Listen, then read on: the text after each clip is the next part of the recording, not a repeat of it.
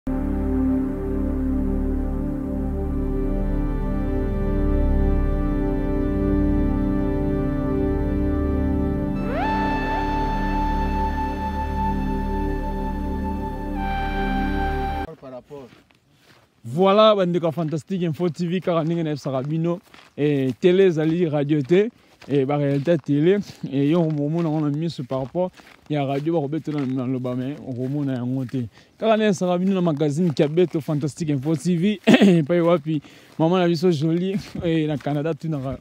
eh, pourquoi olobaka magazine fantastique info tv kiabe magazine kiabeto eh, magazine ya biso moko na ya bino eh, esalaka vraiment pour que bandeko ya fantastique info tv bameka kopartage ba image belema ya kitoko na etando na bino mpasi nyonso bozali e, wana toyaki bongo na kati ya, ya, ya, ya visite lisusu na kati ya terrain ya domaine dadi ya 3 e, oyo ezali bongo na précisement na congo central epai wapi na village ya Kibwanga. Eh, bande ya Fantastic Info TV, boko tuna biso lisusu lolenge nini boyesili ko traverser ngambo ya Congo central pour que bokoma na domaine dadi ya 3 toyaki bongo ezali non loin na village ya 50 kinsala 1 et epai wapi toyebi chef raf biso nyonso ensemble e yango wana totraverse na bamoto e mpona kokóma na kati na esika oyo tozali soki mpoza na motuka ekoyeba kokatisa mpona kokóma na kati ya domaine dadi ya 3 posima na congo central mbote papa ah, mbote papa eh, awa tozali bongo wapi yo mpe opesi nkombo na bandeko bazolanda yo awa tozali na chantier ya mama dadi wa 3 na kati ya congo central vraiment alors awa tozali ko totyaki deja baborne Vraiment tomoni na kati ya domaine dadi ya 3 précisément na Congo central na village ya Kibwanga mm. et epai wapi tomoni ete la fois passée toyaki tomonaki terrain ezalaki vide vide vide et puis ezalaki non planté na borne moko te et puis et puis ata pancarte moko te mais lelo tomoni ndeko na biso et papa ligue tomoni atelemi devant borne mpo atelemi devant panneau moko tokotuna papa ligue nana yango asalaki misala oyo et puis esalamaki mokolo nini Mama sali na yo mbote na yo misala oyo tosalaki yango semaine passée papa atikaki programme ya kotika vraiment tointervenir tosombi baborne oyo ya kosomba na baferme mosusu mosika eyawa ntina ndako me mpo ekoma awa ezalaki mpenza pesa mbwambwa kobuya pourquoi na volonté na amour na assurance naza nango epai na yo yango ekomaki kaka essentiel to fixe yango mpe mosala esalamaki tous les quatre coins eza deja ya kosalema baborne oyo na fixe yango deja vraiment bandeko ya fantastique info tv balingi bameka mpe kotuna lisusu oyo baoyo balandaki biso l'autre fois mm. e baterrain ezalaki na bamesure vraiment exacte te epuis comment ça fait il yo osili kopose Et bino aussi ko poser ba borne oyo et sans pourtant bo o comprendre ba mesure oyo fantastique info TV alakisaki bino te. C'est bien. C'est bien. Baoyo basalaki mosala oyo ya kosomba terrain baliaki mbongo ya bapourcentage oyo biso toza bageometre mais geometre oyo akolia mbongo kutu eza ngai mhm. puiske natie baborne na mesure lisusu pour la deuxième fois na bango mpo namonaka réellement eza 100 sur 400 vraiment nazalaki na singa na ngai ya 5 sur 400 pour combien d'hectare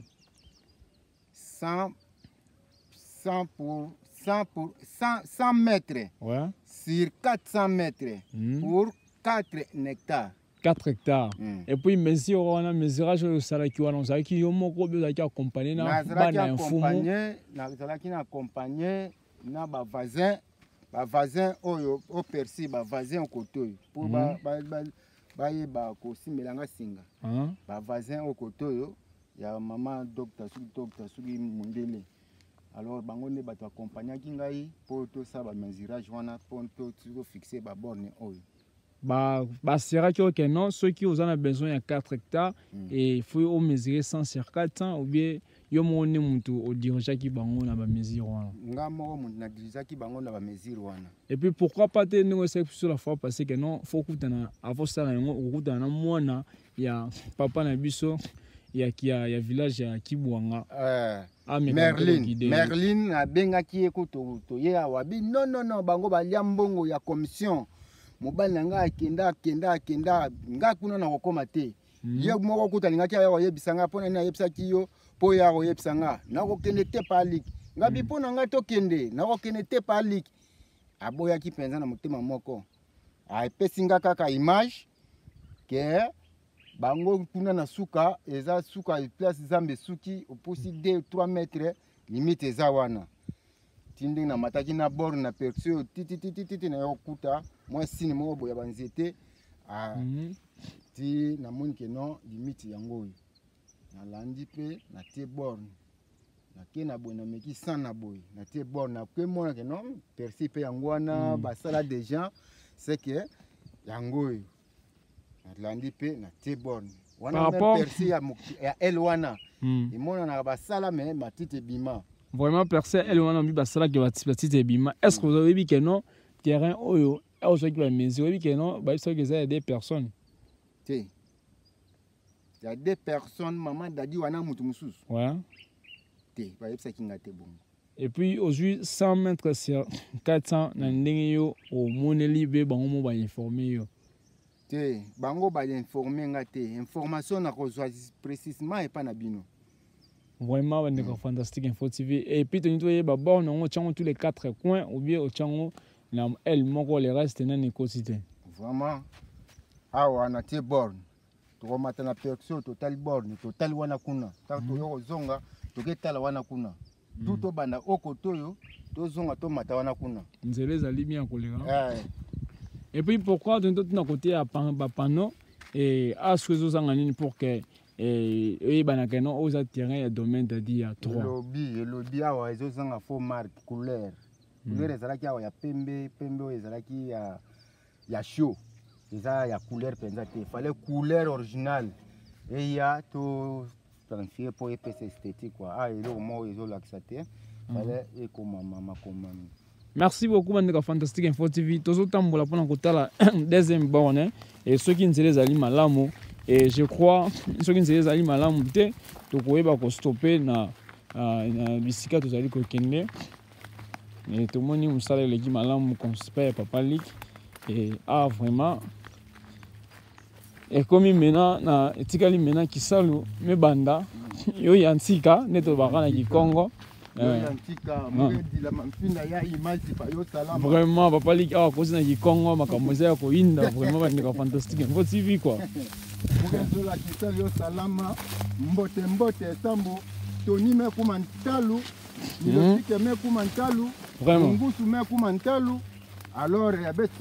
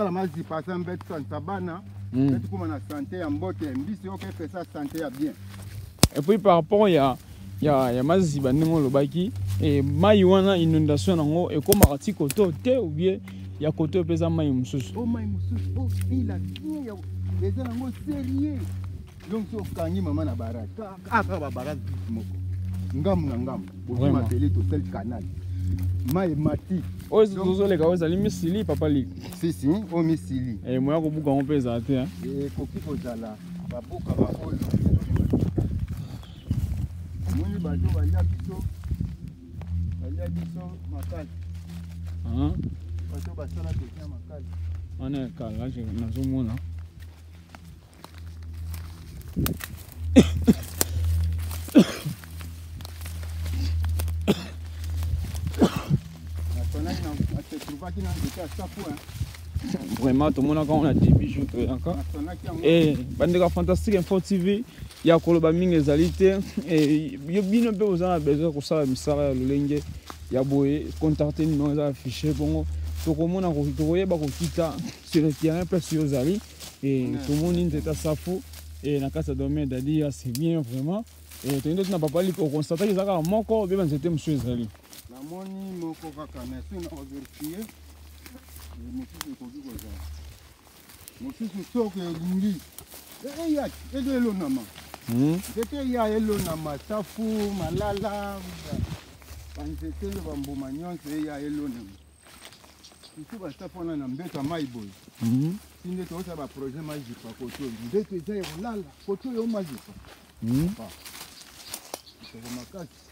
oui mbote na papa na biso papa didier docteur didier epuis na docteur gobert bisika bozali wapi na france bambote ya trop natondi bino bambote ya trop papa didier evike mwa mikolo obwakisi mese zephirin bambote ya trop bisika bozali na bino baoyo boyaki na confiance boyaki na baposa ya bazamba ya motindo ya evike bokontinaki te evike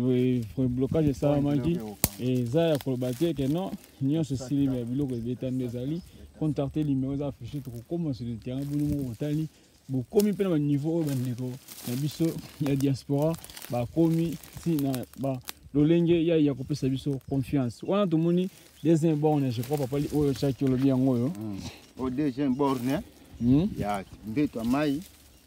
ya lo ya mai hmm. tobima sikoyo na persi wana tomata en 400 km eh, à 400 mètres tokoma na borne après tokɔta lisusu kati tokemona 4e borne vraiment bandeko ya fantastique info tv papa lik okoyeba kotalisa biso ete na par rapport ya ndenge oyebeli e, na par rapport ya ndenge oyebeli na misala na yo ndenge osalaka e, kotala ete banzete oyo soki lelo okomi na baprojet ya kosala bapisculture kosenga kokata yango obie oza malamu na kotika yango mpe mpona bamaleli bon. e, na moment oyo oza na besoin ya oyo mosengi hmm? anti foudre oyo mpenza ekoki kolongwa te mosengi etretaka meme eh, mwana mai esila akomi pale mai na yango ezongisaka motu oyo nzete oyo mosengi nzete oyo oyo mbuma na yango mpe baliaka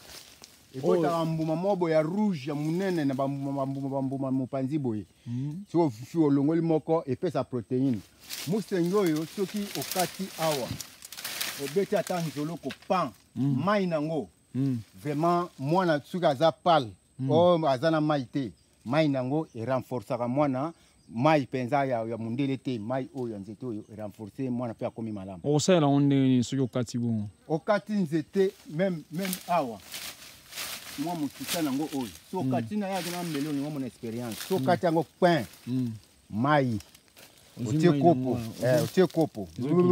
ezokita ti kopo wana soki ozwi yango molangi ata 1 litre mm. opesi mwana oyo azobela soit diarrhée mwana akozala na problème ya mai te na nzoto mai ezongaka rapide musengi mpe aza anti foudre kaki ekoki kobetele te oh. eh, kaki akoya pra ya azwi yango afini yango azwi yango afini yango mpenza mayele oyo ozalaki yango wapi papali eza nzete ya coutume eza banda bakoko babotama ba nzete oyo toyo koyeba yango sikoyo sekele wana eyebana eyebana okoki ndenge ofilme yango okoki kotuna bato baquestion bakoexplike yo ntina ya nzete oyo mbuma nango baliaka yango ebima pamba pamba te oyo na bamboka boye mbuma nango mpe baliaka eh, mbuma nango baliaka eza mpe na nua oyo na kati mokokoli eh, eza na mokokoli na kati ezalaka eza entouré na bambuma mbuma mbuma mbuma mbuma sikoyo so ozwi kaka moko ofibi ezalaka na kati mpe na kambuma ofibi kambuma na mai nango omeli mbuma na obwaki epuis yango nyonso baoyo bazalaka vraiment basombi zamba mm. e batye akengela akengela concession mm. e akomi kokata banzete oyo akusana kati ya concession conseil nini ezopesa na bango vraiment nzete ekatamaka na programme mm. soki olobi kata persi nakokata persi ti na suka mm. bon soki olobi ke kata nzete ndenge toza na projet ya kosala oyo baeta ya mazipa banzete oyo ekesengela kokata oyo mpe kozela importer ya kotikala eh, oyo ekezala importer ya kotikala etikali wana bato na bino baoyo boyebi oyo eza nzete elakisi boye nzete elakisi boye eh, neti nzete oyo ekoki kotikala neti nzete ya mbila ekoki kotikala mm. eza na banzete moko oyo ekoki kotikala etikali oyo ekoki kokatama ekatami esali makala na programme na bino bamemisi ba, ba, ba biso vraiment bandeko ya fantastique info tv conseil na baoyo bozali bafermier na kati ya baetando ya bamembre ya fantastique info tv e, soki osombi bisika oyo ezali na bongo na banzete etondi e, mingi kozala mbangu te na yo moto batie place ya kovanda place ya kokengela oza na rapidité okokata nzete saint pourtant koconsulte mokolo concession epai wapi yo ozali na kati ya mosala okoya kokata nzete mosusu oyo peut-être oyo bakataka te oyo ke alobi okoki kobatela bomoi na yo mpe bomoi ya bato mosusu mpe ya bana na oyo okozala na bango na kati na esika place yo kozala wana donc ce n'est pas eh, n'importe quoi n'importe quel nzete te oyo okoki kokata mm. pour que lelo lobi ezala ngambo oyo oza na besoin ya kisi kingani okomi kokende koluka yango mpe bavoisin eza vraiment conseil mingi ya kozwa ya motu ya kozwa ndeti ngai nazwa yango vraiment e namona kaka nzete wana me nayebi importance na yango te e nzoka nde papa lik oyo tozalaka na ye ye ayebi importance ya nzete wana merci beaucoup na ndeko fantastique info tv tozo continue toujours e mbote na ah, na libota mobimba e mbote na papa alain makengo e mpe mbote na mama na biso marie jeanne bisika ozali e vike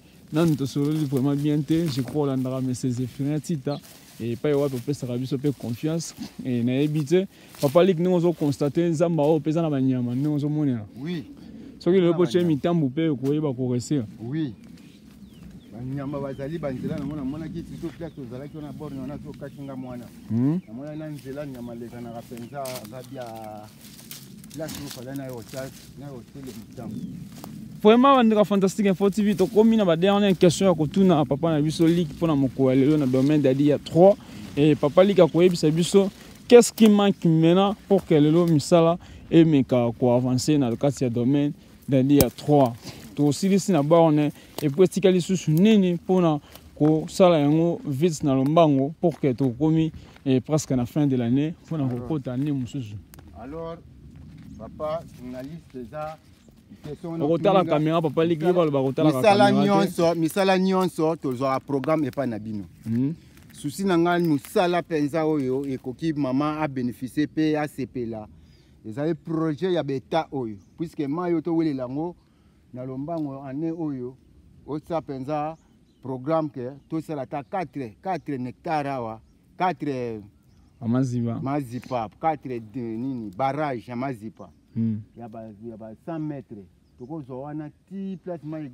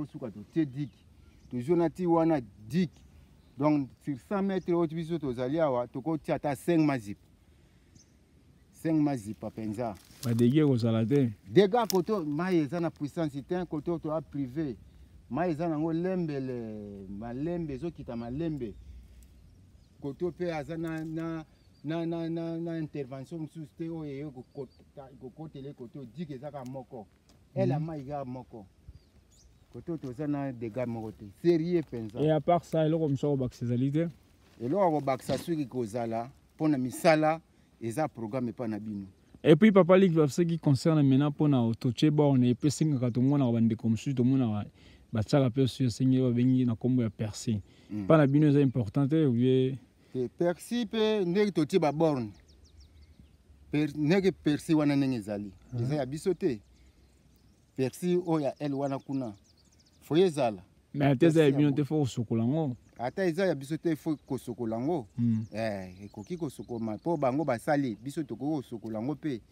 eza mpe kaka bavasin eza mpe bien eh, ndenge otyaki baborne soki lelo bapesi yo susu eh, tomoni volonté na kosali kota baborne soki lelo mpe bapesi yo engagement ya perse ya sokolandela yango alalope bie ndenge yango mosala nalandela yango te nakokende wapi mosala eza tata mama nakosala yango na amour na volonté na assurance soki nakoki te nazwi renfort kaka na mbongo wana nazwi renfort ah, ndeko ya ah, bavasin baoyo toliaka na bango yaka kwanga nzala baliaka ndambu ndambu yaka to renforce yaka mpo tosilisa awa mpo misala eza ebele merci beaucoup bandeko fantastique info tv wana tokomi bongo na suka ya émission na biso mokwa lelo mpona kowela ngonga na bandeko mosusu e, tobosani te papa liki asili koloba ete mosala ezali tata na mama yo mutu na oyo yo oyo ozali koneglige mosala yo mutu batie yo ferme na kati ya mosala ozoneglige mosala papa liki ateyami alobi ete mosala ezali tata na mama vike ya lolenge asili ko comprendre na ba erreur oyo asalaki kote ya domaine dadi ya de e merci beaucoup na papa lik na oyo osali na kati na biso e na confiance oyo osali na kosala mosala ya kotya baborne puske tozomona bamisusu bapesi confiance ya kotya baborne ya boye me akomi na suka boye asali nde mosala yango te merci beaucoup bafélicitation ya papa lik na oyo osali na mosala kote ya baborne epuis estekeli bomona kote ya